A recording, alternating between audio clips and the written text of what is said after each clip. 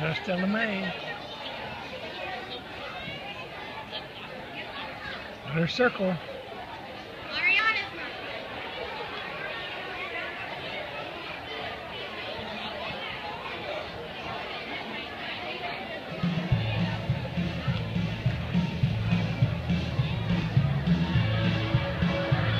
in Rose, Texas.